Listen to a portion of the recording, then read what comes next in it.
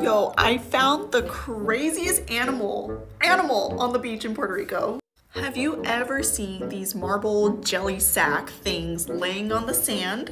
So I had no idea what they were until I looked them up. Turns out this clear boba looking thing is actually an animal called salp, aka sea grapes. Immediately I had two questions. One, can I eat them?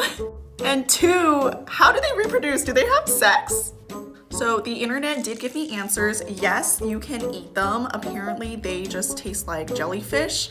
Um, no, they do not have sex. Salps reproduce asexually by creating this chain and then they release one by one.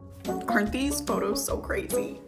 If you want to find salps on the beach, they're usually between 1 to 10 centimeters. So next time you're on the beach, especially if you're in Puerto Rico, which is where I